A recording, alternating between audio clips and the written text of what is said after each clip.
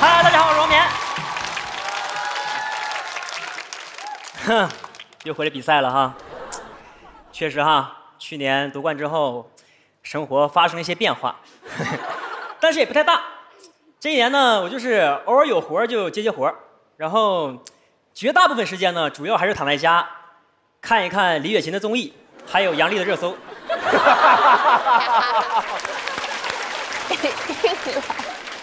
当然还是有些节目找我啊，然后能看出来我就在上面就是非常努力的展示着自己的平平无奇啊，所以想还是回比赛吧。啊，正式开始比赛啊！我们今天呢聊的主题是心理健康，我就发现好像很多人都有一个共通病，就是很多时候我们痛苦的情绪都是来源于别人。好，这首歌送给大家。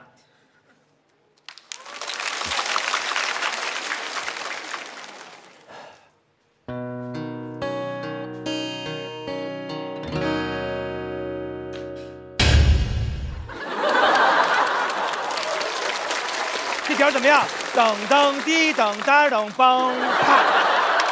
你不要打断我节奏。人刚进入情绪啊，再来一遍。OK，我这个点儿搞音乐的啊，真的是。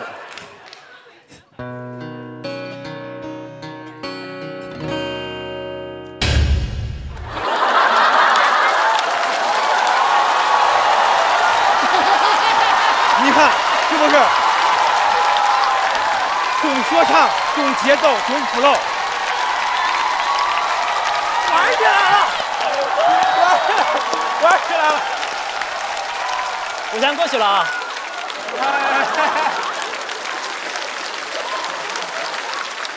你俩要是拍的话，赶紧先拍完，好不好？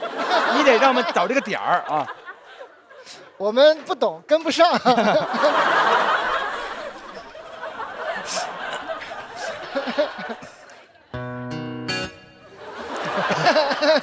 知道吧？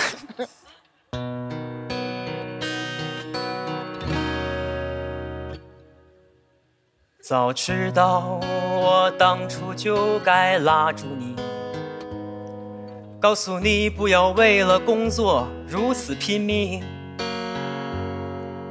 早知道就劝你多休息，多注意身体。现在就不会隔着玻璃看着你。怎么你就突然变成了我的总经理？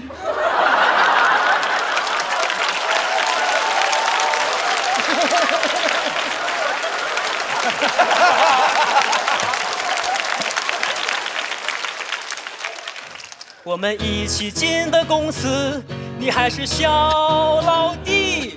我也不是跟你比，但你好大的差距。我却只有为你卖命的好身体。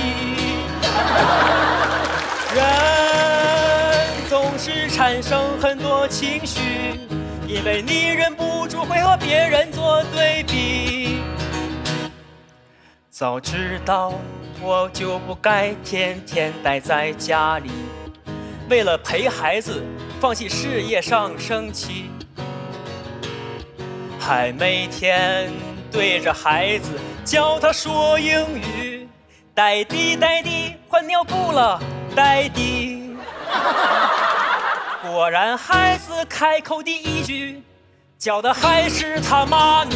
我天天叫你呆迪，可不是尊重你，我也不是跟你比，但他明显更爱你。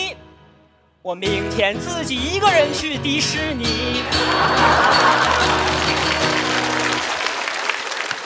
无论生活中什么事情，你总是克制不住自己去和别人比。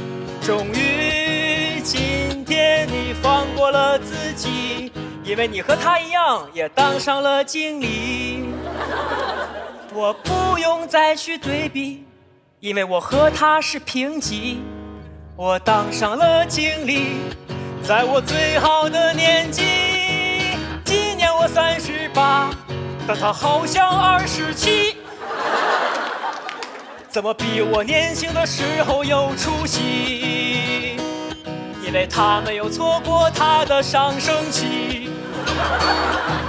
人总是不停为难自己，陷入反复和别人去比较的情绪，甚至还不知去和别人比，还和过去的自己比比。明明这个高音我去年能唱上去。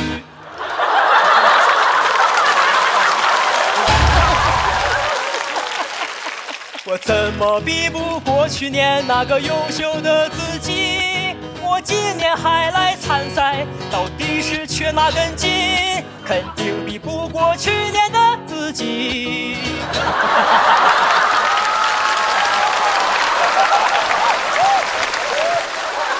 我发现我们真的好像什么都要与其他人进行对比，成绩、体重、身高。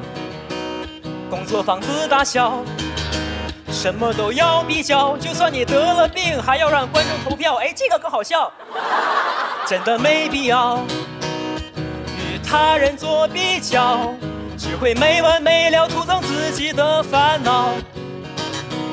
我现在就要放弃和别人做比较，留下你们为了比较而烦恼。这样我的心态就比你们好。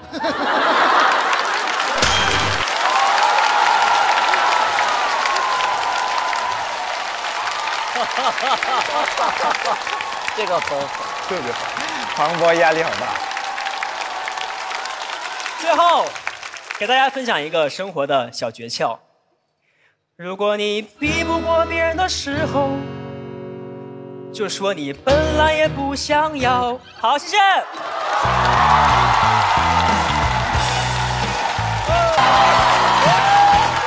刚才严颜悦讲了很多关于男生的段子，是吧？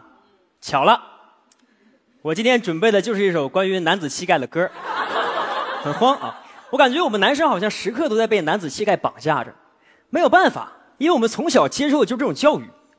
我五岁生日那一天，我爸就指着我，王冕。你是个男人了，男人从来不过生日，所以我们男生啊，经常会有很多非常非常傻的行为，单纯只为了一个目的，就是证明我是个男人。请欣赏一首男人的歌曲。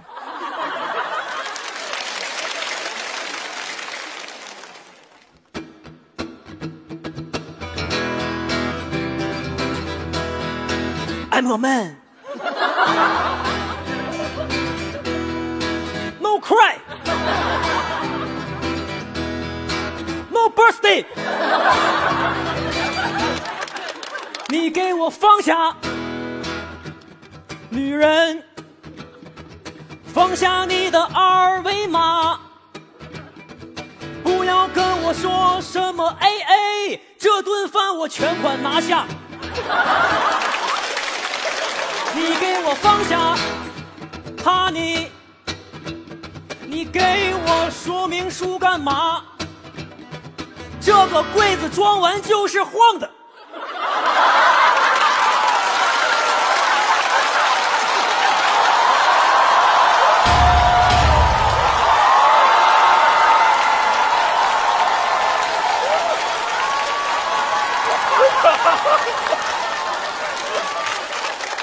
说的没错，我太会装了。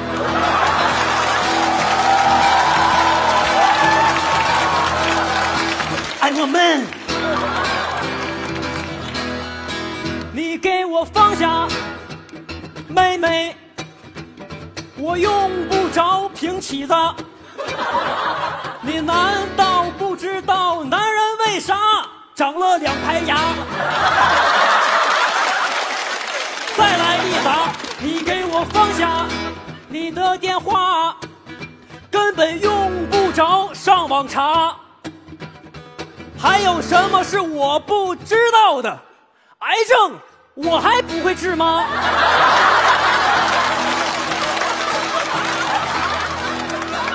？I'm a man，你给我放下。我说了半天了，你听不懂吗？你听不懂吗？你把我放下。我说够不着了吗？不用你帮忙，本来也没想拿它。就算我真的想拿，自己也有办法。摇一摇就掉下来了，柜子是晃的。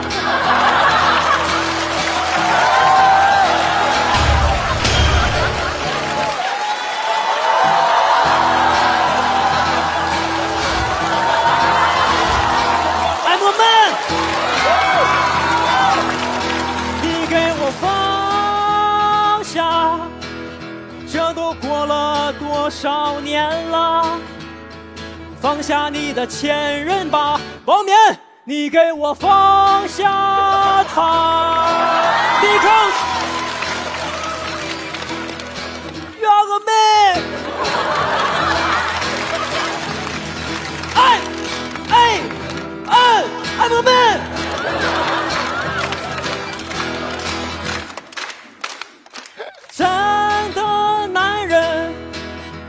生面对危险，不像话。就算他已经抓到了蟑螂，你给我放下，我抓。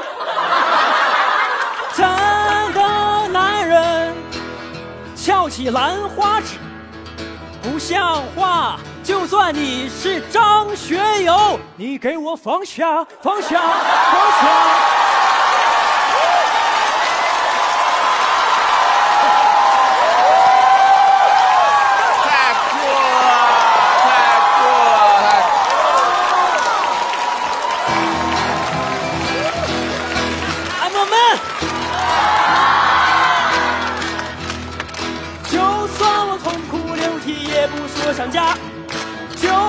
需要抱抱，我也不表达。所有脆弱全都自己一个人消化。什么时候才能把男子气概你给我放下，放下，放下？谢谢。大家好，我是一个三胞胎。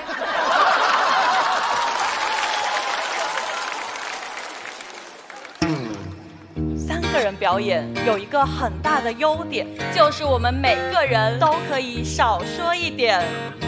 词儿。真棒啊！我天哪！为了跟王冕合作，我们特意去学习了音乐，没学会唱歌，但学会了如何表演音乐。其实我们想和王冕合作呀，是因为我们觉得女生在生活中有很多话，不好直说，有很多想法，不方便说，所以我们就打算让王冕把这些话说出来。就比如说呀，我特别讨厌在夏天穿短裙，因为穿短裙太热。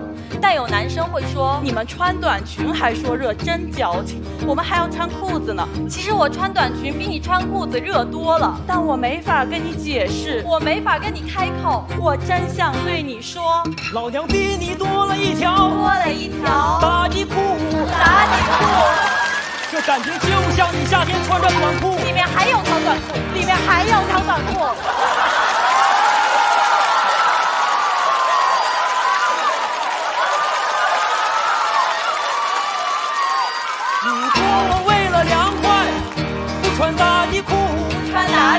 我走的每一步都会像玛丽莲梦露。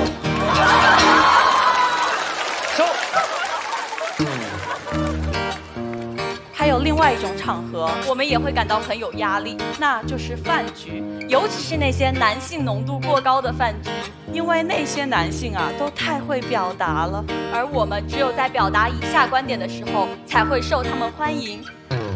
嗯，是，对，哇哦，嗯，是，对，真的吗？是啊，对啊，对啊，是啊，是啊，对啊，对啊，是啊，好有道理啊！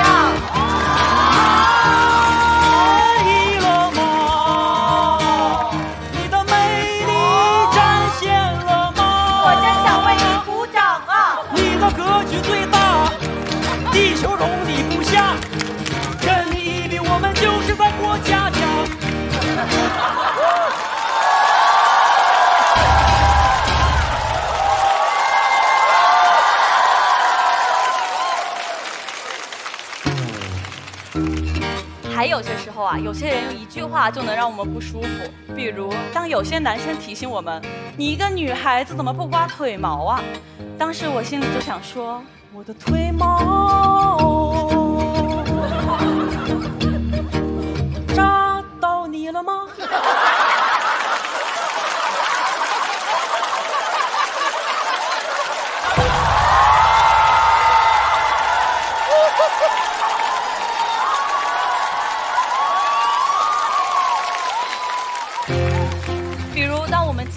精心打扮了去上班，有同事跟我们开玩笑：“你上班还打扮的这么好看，是为了给我看吗？”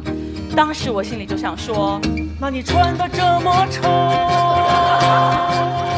是为了恶心我吗？”但如果我们不打扮去上班，老板又会说我们：“你上班怎么不打扮呢？”这样会让我觉得呀，在你心里你并不尊敬我这个老板。当时我心里就想说，他怎么说出了我的心里话？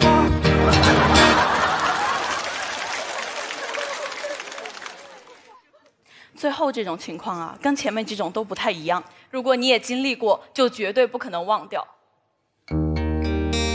那还是在大学的时候，那一天我快要走到寝室楼下，突然跳出来一个男生，蒙住我的眼睛，把我拉到暗处。当我再次睁开眼的时候，就看到一个横幅。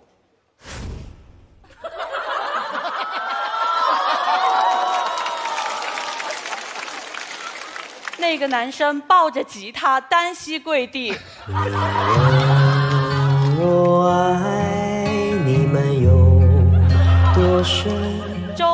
围过来的人越来越多，越来越多。路上的人，宿舍楼上的人，都开始喊：答应他，答应他，答应他，答应他，答应他，答应他，答应他。那一刻，我完全说不出话，但是我的心，救命啊！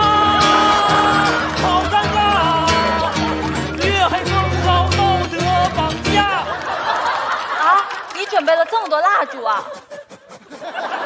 快闭上你的嘴巴，不要再唱歌了。你以为男生会弹吉他特别的帅吗？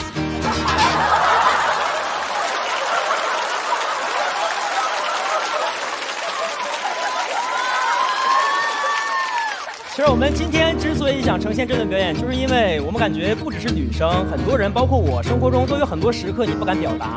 因为好像比起自己，我们会更在乎别人的感受，在乎别人对我们的解读，在乎别人对我们的评价，在乎别人有没有给我们投票。但我们今天就不怕了。因为我们想被投票，也没有资格了。谢谢大家。舒缓一下，还是要预测一下这三位 最终的排名。我们让大老师来吧，他说话是最有准的，好吧？来，大老师，又让我数冠军，对不对？数冠军啊，我觉得，哎，今年的冠军会是谁嘞？哎，会是谁？哪边的方面你觉得累？嘿，觉得累。我在这里坐了半天，确实有点觉得累。让我们就来动动嘴。冠军，冠军，冠军，都是冠军，冠军，冠军，都是冠军，冠军，冠军，都是冠军。今年脱口秀演员都表现非常的棒，都很棒，棒棒棒棒棒棒，脱口秀这一季所有人都非常的棒，都很棒。除了王建国。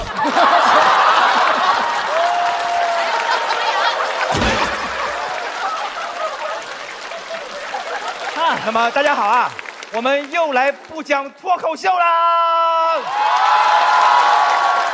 因为讲脱口秀真的太难了，我发现大家现在都在讨论，说讲脱口秀需要讽刺，需要深刻啊，需要共鸣。你说他们那么多事儿，让我们怎么讲？对呀、让我们怎么讲？让我们荡起双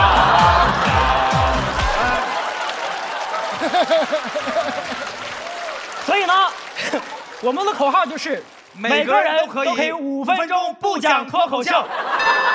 计时现在开始。哎，你说这呼兰是不是？要是不讲脱口秀，他是个 DJ 啊、呼哧带喘的，那得多带劲呐！那肯定精彩多了。Everybody, everybody, everybody, everybody, everybody，抖起你的小胖手，跟我一起传。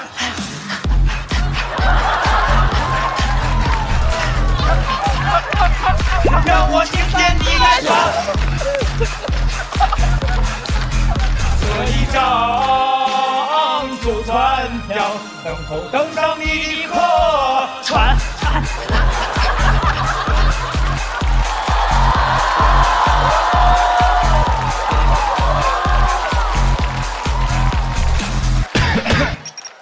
大老师怎么还喘咳嗽了？没有，刚才我 QQ 加个好友啊。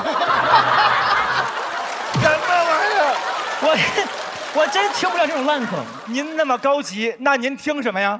那我得听天花板的，我听什么？我得 listen to。拜拜。Listen to listen to listen to listen to 拜拜。Listen to listen listen to listen to 拜拜。一起喊好不好？Three go listen to 拜拜，天天全就在沙发面前。这俩倒霉孩子，你们可三分钟没讲脱口秀了。但是我们要做到五分钟，对的。那么呢，咱们来说说杨丽啊，因为我在那边当领票员的时候啊，每次看见她上台讲的不是脱口秀，人玩的就是气场，一出来就带着 BGM。你怎么说话呢？你是谁呀？大家好，我是杨丽。当当当当当当当，我放弃了。当当当当当当当当当当当当。我疯了。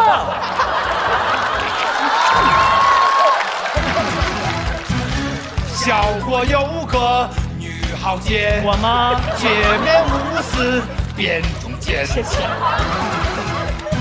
一堆男人坐这边，好坏他只要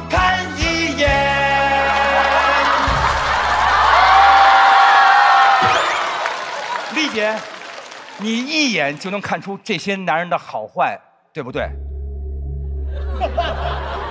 当当当当当当当当当当当。当当当当当当当当当当当当。杨蒙恩，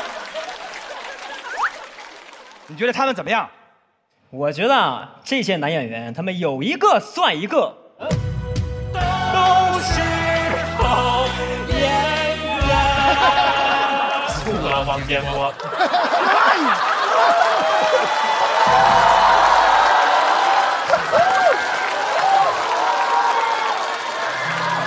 还有一对兄弟，他们也不讲脱口秀。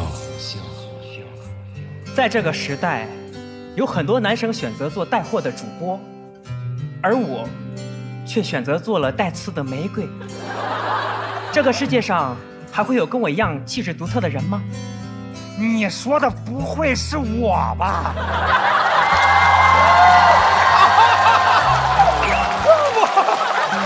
小眼睛长鬓角是我最美的记号。我每天睡不着，想念你的鬓角。终于找到心有灵犀的外貌，看一眼就忘不了，让大家充满美好。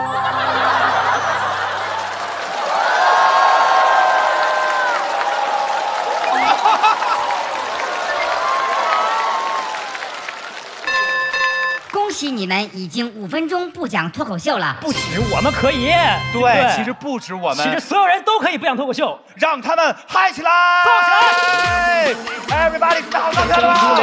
知道造起来了吗？Everybody，我是双手。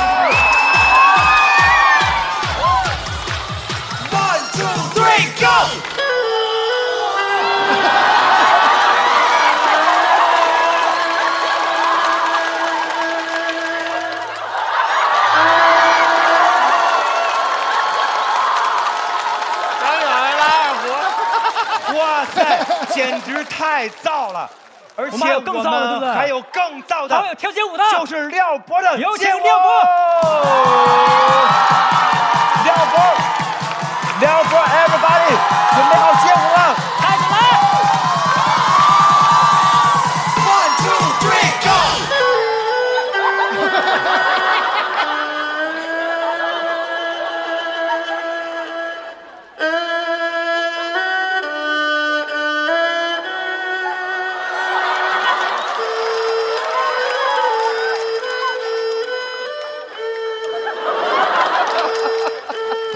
娘娘，我们来一段真正燥的音乐。来吧，One two three go！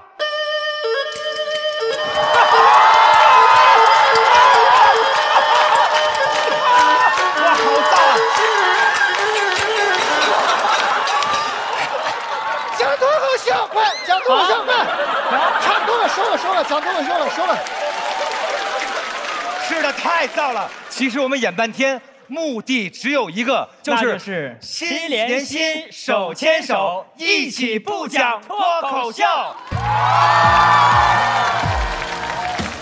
心连心，手牵手，我们不讲脱口秀，没必要再白头，摆来摆去摆秃了头。心连心，手牵手，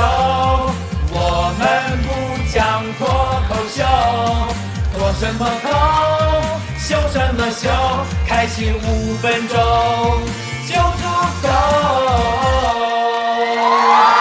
我们下一季再见。谢谢。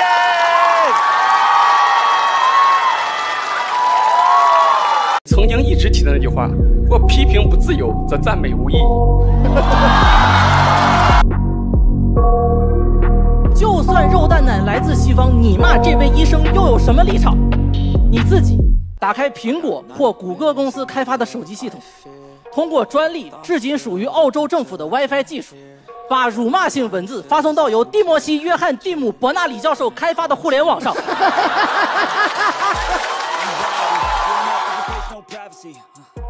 界已碰吻你，你不要报纸一个。这世界一碰吻你，你扇那巴掌啊！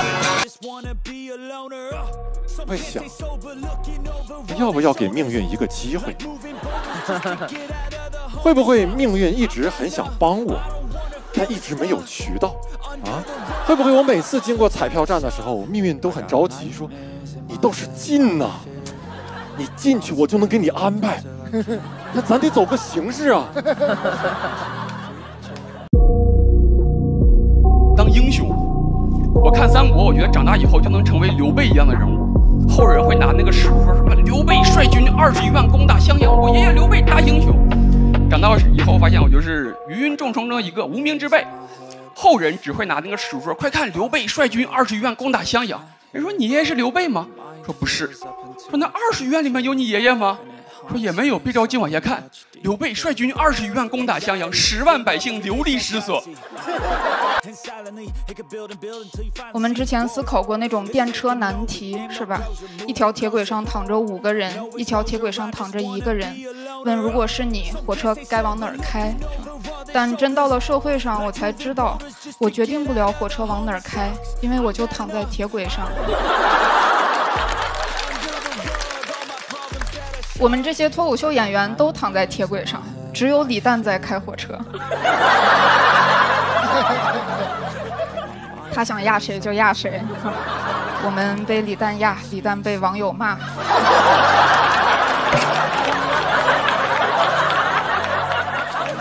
我很少思考怎么选的问题，因为我知道每个人的选择范围都是有限的。小时候，妈妈领着我进小卖铺，问宝贝儿：“你想吃薯片还是辣条呀？”我指着老板背后说：“妈妈，我想要那个电视。”我妈说：“我是不是又给你脸了？”这也让我想起我学二胡的过程。在我小学二年级的一天，我妈问我：“宝贝儿，你想学二胡吗？”这就是我人生面临的选择。我妈没有问我在钢琴、吉他和二胡里你想学哪一个，她问的是二胡你想不想学。在二年级的我听来，这句话就是这个脸你想不想要？所以我就被迫开始学二胡，学也学不在心上。每天我妈上班前会跟我说：“我去上班了，你自觉点，该干啥干啥。”我就知道我该看电视了。但我也没办法踏实的看，我会焦虑自责，会想我为什么这么不自觉，所以我就会一边看电视一边拉二胡。我给电视配乐，那时候在播《家有儿女》，有一集他们一家人聚在一起吃饭，夏东海不在，我一拉就感觉夏东海再也不会回来了。但我卷了很多年二胡，好像也没什么意义，因为二胡不是一个适合展示的乐器，也没有办法吸引异性。你能想象吗？两个男生走在街上，突然一个碰碰另一个说：“哎，两点钟方向，两点钟方向，有个女生在拉二胡，你有零钱吗？”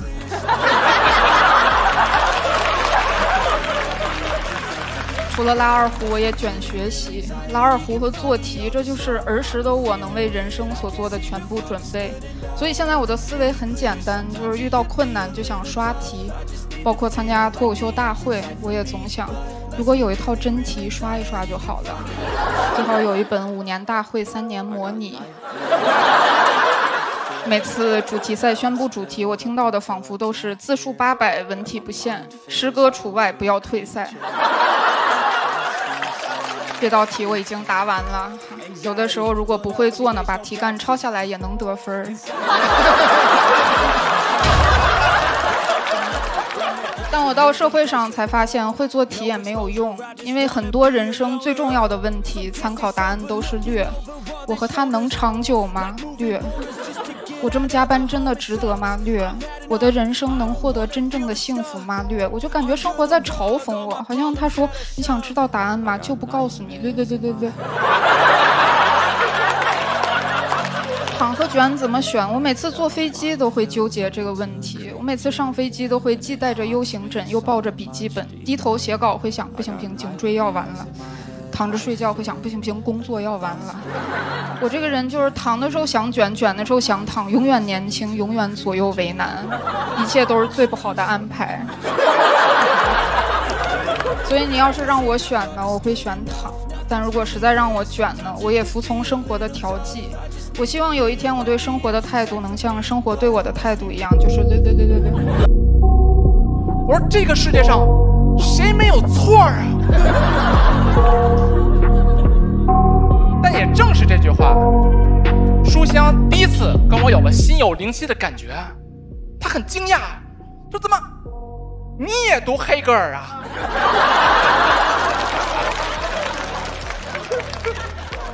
以为你只看机器猫呢。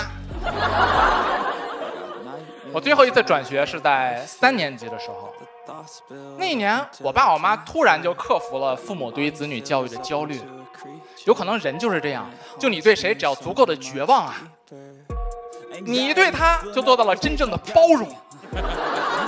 那个夏天的夜晚，我爸把烟一掐，说实话，我至今记忆犹新。我爸说：“不如就给莫南一个快乐的童年吧。” 我妈也接茬说：“是，就莫南这个智力水平还有学习状态，现在不快乐，以后怕是也很难再快乐起来了。”我们再转学，我们心态就发生了一个一百八十度的转变。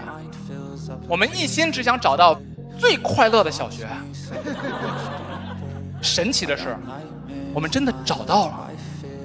那是一次阴差阳错的访校经历，就那个校长拍着胸脯跟我爸妈保证说，我们学校就是最严的小学，每天有督导老师看着孩子写作业，不写完不会放回到家去。听得我们是眉头紧锁，心情沉重，想着又是白跑一趟。谁成想，正是这种反应，被那个校长理解成了一种质疑。校长急了，说：“怎么不信啊？我们可不像旁边那个北下关小学，但凡不是对自己的孩子绝望了。”谁能送到那儿去啊？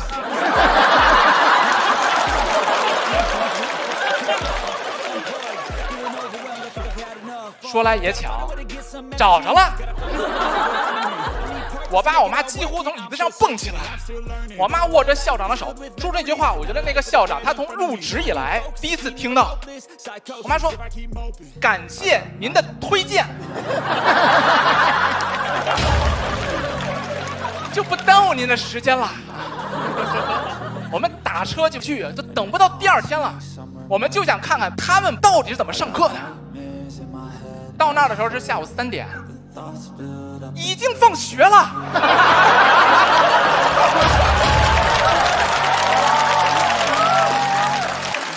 哪儿还有人啊？门口看门的大爷都说：“怎么又把书包忘拿了？”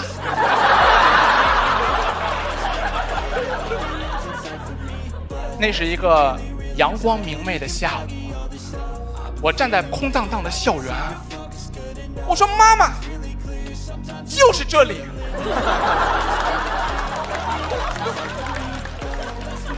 到家了，我一生的挚友啊，我的 soul mate，我的灵魂伴侣，全是在那里结识的，就是那种突然有人懂你的感觉，就能知己。然后我上课不是走神吗？我问我同桌，我说今天早上有一道应用题我没有听清，你能不能给我再讲一次？我同桌大惊失色，说啊，咱们今天有数学课吗？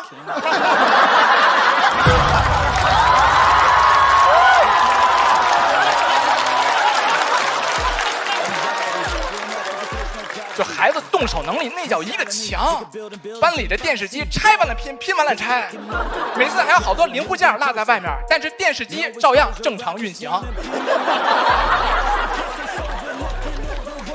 我那个同桌，修车厂家的孩子，我印象很深刻。六年级的时候，我们那个体育老师车坏了，是他给换的备胎。六年级说换就给换了。我们的体育老师也看傻了，眼神都变得敬畏了，连称呼都改了。：“师傅。”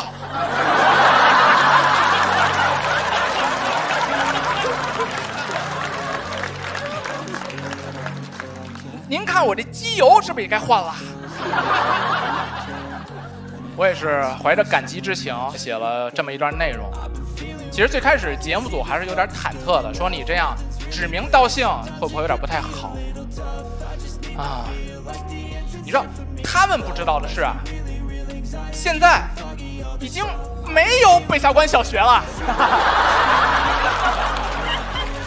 我们学校没了，还是我爸遛弯的时候发现的，给我打一电话，莫南，你没根儿了。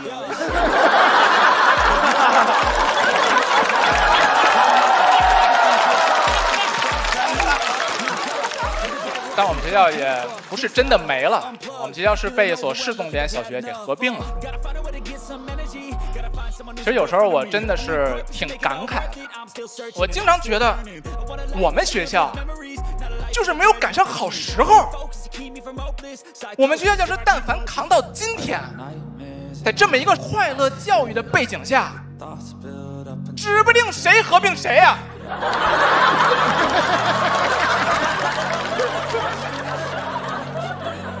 你别说重点小学了，心情不好，我们连重点大学都给合并了。怎么着？北下关大学？要放今天，全国就三所最著名的学校：清华、北大、北下关。我爸说：“那你去考呀，考公务员还稳定。”我说：“考公务员是为了稳定吗？考公务员不是为了为人民服务吗？”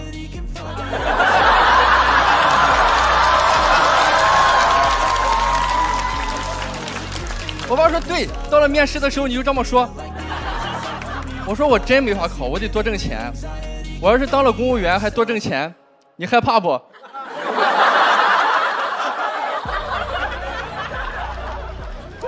确实得多挣钱。我们公司附近的幼儿园一年二十万，但是还是觉得孩子在公司附近上学方便嘛，于是就换了一个思路。现在天天劝公司搬到一个偏僻点的地方。考虑一下郊区周围，公司好像没听清，搬到了胶州。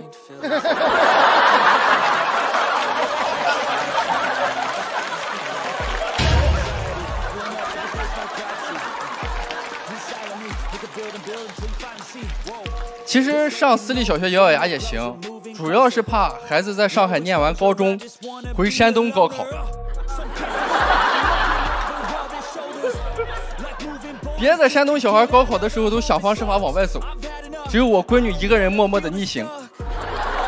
她拿着我买给她的回济南的高铁票，说：“爸爸，这难道就是乡愁吧？”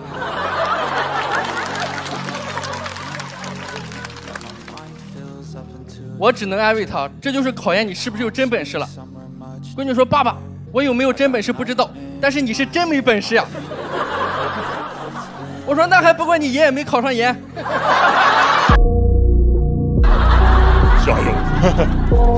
我只想说呀，我们这些人不是对手，就像刚才蛋总说的，我们不是对手，我们是竭尽全力，相互扶持，做了一场喜剧秀给大家看。我们这些人永远是一起的，我们跟你们也永远是一起的，是喜剧让我们相聚。谢谢你们。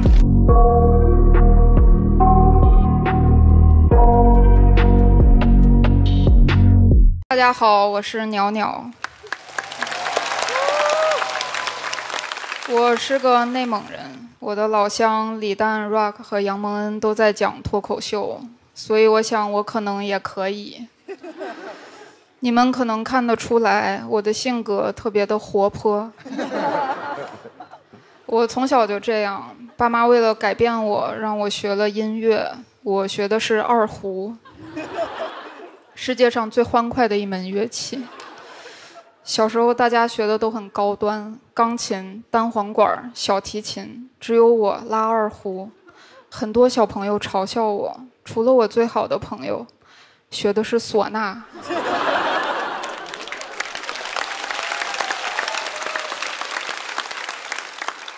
我们立志，等我们长大了，五六十岁，就在公园里组一支乐队。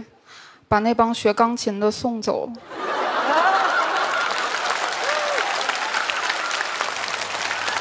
他 这个劲儿太独特了，感觉他没有情绪，然后像一个 Siri 一样在念。我这个性格没有办法演奏特别欢快的曲子。你们可能都听过一首曲子叫《赛马》，别人拉赛马就让你觉得那些马都活力四射、热爱比赛。我拉赛马就让人觉得那些马。比什么赛呢？每匹马都是要死的。由于我性格比较内向，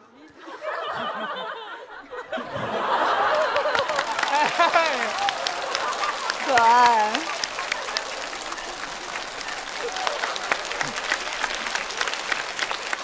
由于我性格比较内向，所以我常常没有什么存在感。刚才在卫生间，我把手伸到水龙头下面，都没有手都没有水流出来。这是什么破包？我就，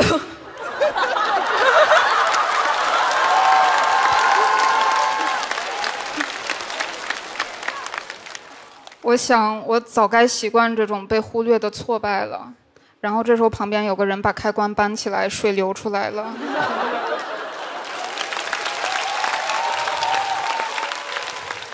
我也不喜欢和人打招呼，因为总要说一些没用的话。来了，吃了吗？天气不错哈。谁会真的关心这些呢？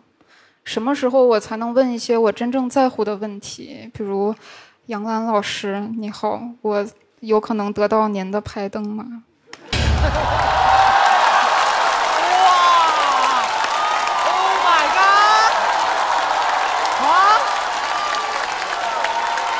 他那个危险，我感觉可能会被这种怪物打走。这都是脱口秀，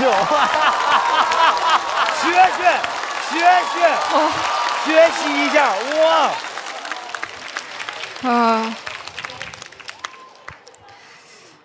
我这样的人也很难谈恋爱，因为我很难判断对方是不是喜欢我。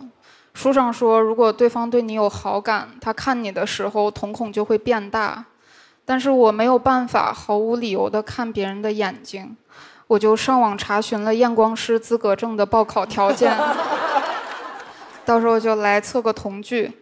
大夫，我多少度？不重要，你不爱我。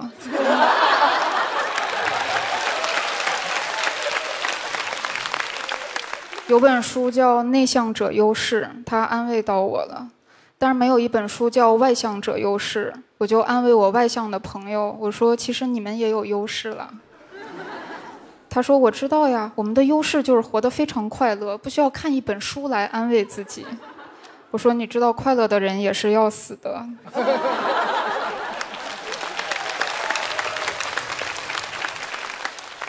我特别在意别人的看法，甚至超过我个人的感受。即便现在我被一只老虎咬了，都很难立刻喊人来救，因为如果没有人救，我只是可能会死。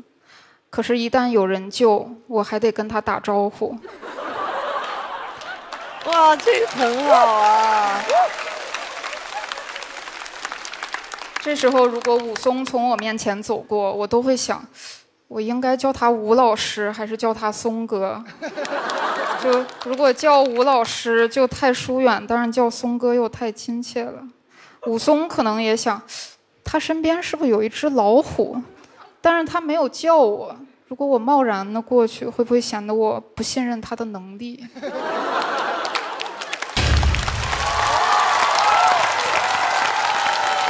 川儿哥有点危险，川儿哥相当危险，非常危险，对。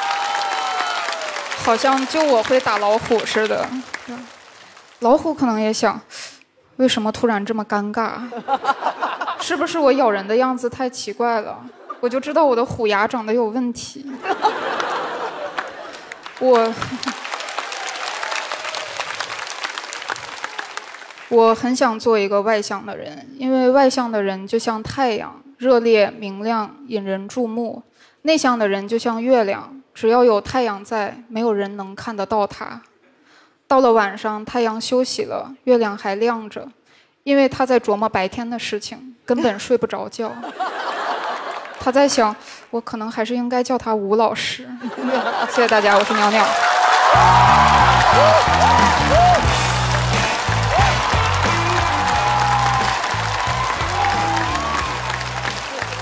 真棒！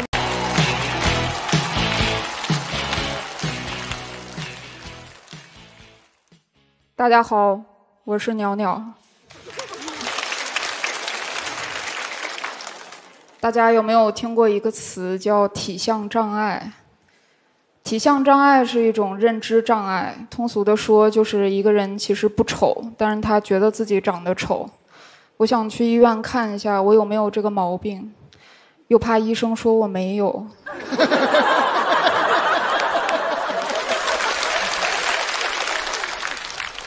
理发师总是建议我剪一种发型，就是前面一个刘海儿，两边也剪短，修饰脸型。底层逻辑就是用我的头发尽可能多的把我的脸盖住。我觉得他还可以再激进一点，给我剪成贞子。我觉得贞子可能也只是一个自卑的女生，就这么打扮是她的一种防御手段，用来安慰自己。别人见到我就跑，肯定不是因为我的长相，只是因为我的穿搭风格。从小就知道我长得挺普通的，因为我妈天天跟我说：“女儿啊，你得好好学习，女人不能要一头没一头。”我后来就只好考上了北大。我是考研进去的，复习期间我怕考不上丢人，就不敢告诉别人我考的是北大，我就只能说我考的是清华。但上北大也并没有改善我的处境，做一个长相普通的女生仍然非常难。就是你好像做什么都不对，你不打扮吧，人家说没有丑女人，只有懒女人。在这句话出现之前，我只是一个单纯的丑女人。你要做什么坏事儿，人家就说真是相由心生。你要与人为善吧，就会夸你真是人不可貌相。我要说我觉得自己挺好看的，那你得有点自知之明。我要说，我觉得自己不好看，那你得接纳自己。还有大家平时晒的图片也都太好看了，什么时候能晒一些既彰显个性又不涉及美丑的东西，比如指纹？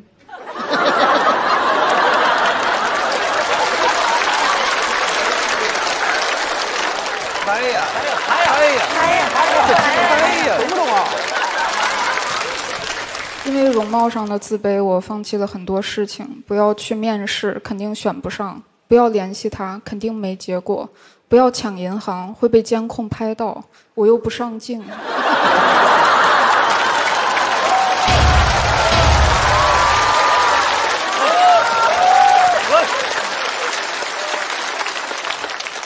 但长成我这样也不是完全没有好处。我经常示弱撒娇，未经允许就吃男生的冰激凌，但从来没有一个人说我是绿茶。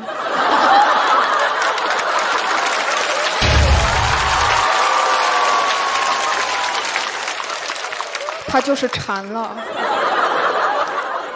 上次我去美妆店，店员推荐护手霜，他说：“你知道吗？手真的很重要，手是女人的第二张脸。”我说：“谁能先救救我的第一张脸？”他说：“女人不能要一头没一头。”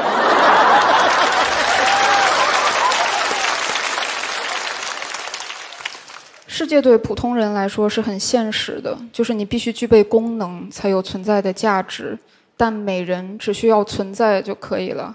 你不会见到一个人说：“这个花瓶保温吗？”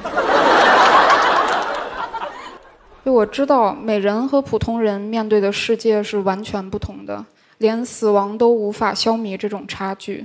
上世纪八十年代，在我国西部出土了两具三千八百年前的人类遗体，人们把它们命名为“楼兰美女”和“干尸二号”。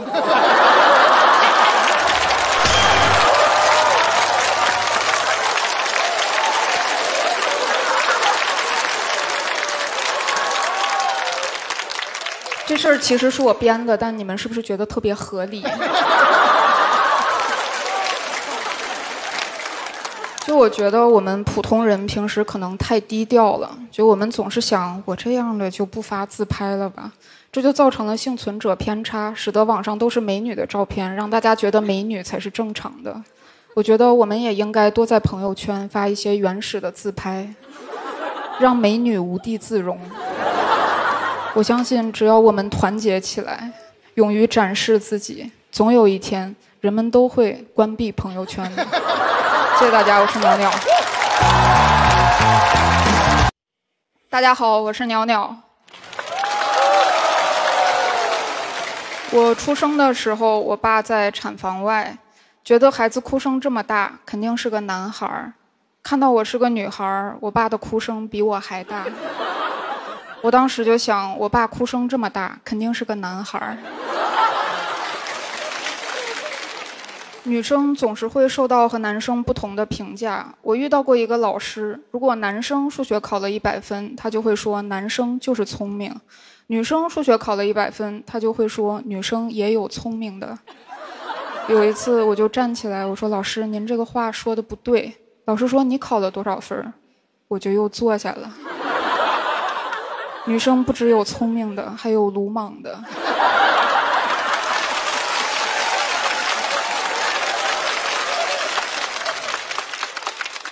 好像大家对男生就比较宽容，不管一个男生学习多差，都有人说男孩嘛有后劲儿，上了初中就好了；男孩有后劲儿，文理分科就好了。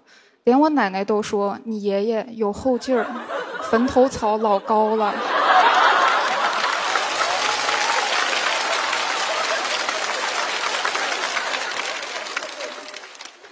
我看到一则新闻：深圳一名女性离婚后得到三十二套房。哇哦！我也想和她老公离婚。我再一查，这名女性婚前有六十四套房。因为总是被和男性比较，我就特别想证明自己。甚至每次我和男生一起过地铁闸机，如果我比较快，我都会 yes。可是跑这么快又有什么用呢？到最后，别人眼里我最伟大的成就还是成为一个妈妈。当妈妈太难了，因为可能会养出一个妈宝。妈宝呢，有男有女，在这里为了方便，我们就姑且称他为妈宝男吧。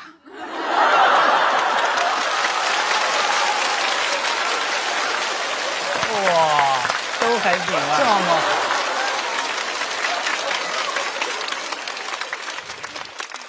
妈宝男这个群体非常奇怪，就他明明没有犯法，但你总想制裁他。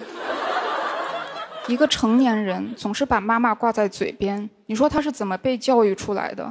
是不是他妈妈天天对他说：“孩子，以后在外面提我好使。”那我们应该怎么鉴别妈宝男呢？我觉得你就可以直接问：“你是妈宝男吗？”我不是。你为啥不是？我妈说我不是。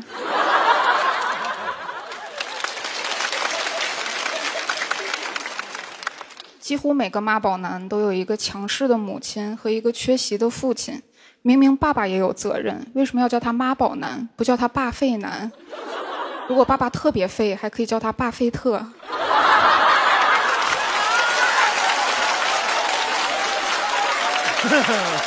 鼓励一下。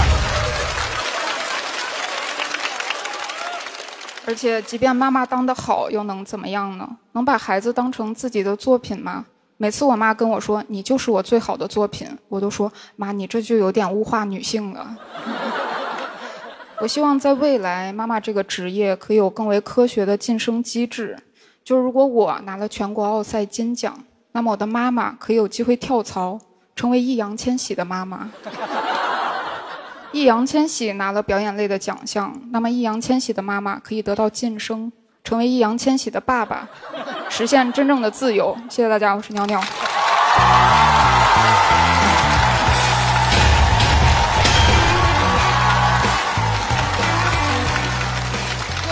谢娘娘。三、二、一，请投票。播出之后还是很多人喜欢你的啊。是。给给社恐的你带来了很大压力吧？就是有很多粉丝给我私信说他也很内向，然后得到了共鸣。那你们交流了吗？啊、我都会回谢谢。我刚才听的过程中没拍，是因为今天好像没有之前那么表现的那股那股狠劲儿没有了。对，可能我现在没有那么愤怒了，就很开心每天。对，鸟鸟都乐了，之前都没怎么笑过哇。他以前讲这段的时候就很凶狠。对，因为他特别毒嘛，脱口秀特别毒，一直毒秀，对不对？真的是。我我觉得我觉得还是这样挺好的，干嘛跟自己较劲呢？日子过好了，干嘛还要愤怒呢？对吧？我觉得我我我我觉得挺好的，我我喜欢这种温暖。嗯，我我我觉得那个刚进来的时候都特萌，比上次那个萌，我特喜欢。谢谢。因为我算鸟鸟鸟的粉丝了，我已经，我真的好，我觉得他特别酷。谢谢。但是我我我我我是在他今天最最弱的一个巴菲特巴菲特那儿拍的。什么玩意儿？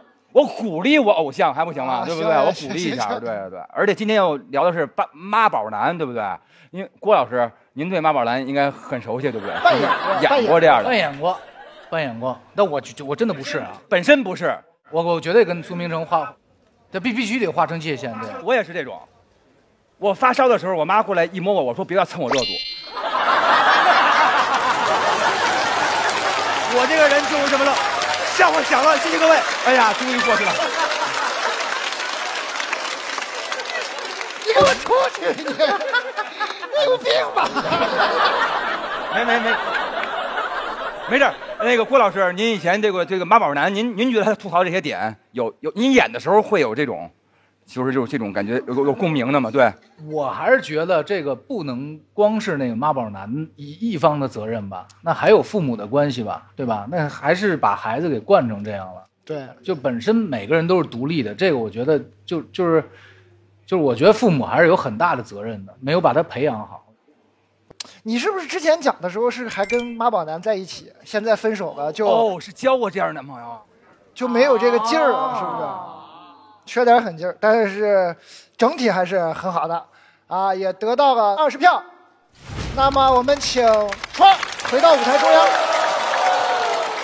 我们来采访一下徐志胜。哎呦，你觉得这场谁胜率更大呢？我感我感觉鸟鸟吧，他讲的东西可能在座的观众更有切肤之痛吧。得，不折磨你们，让我们来看一下孟川对鸟鸟最终的得票结果。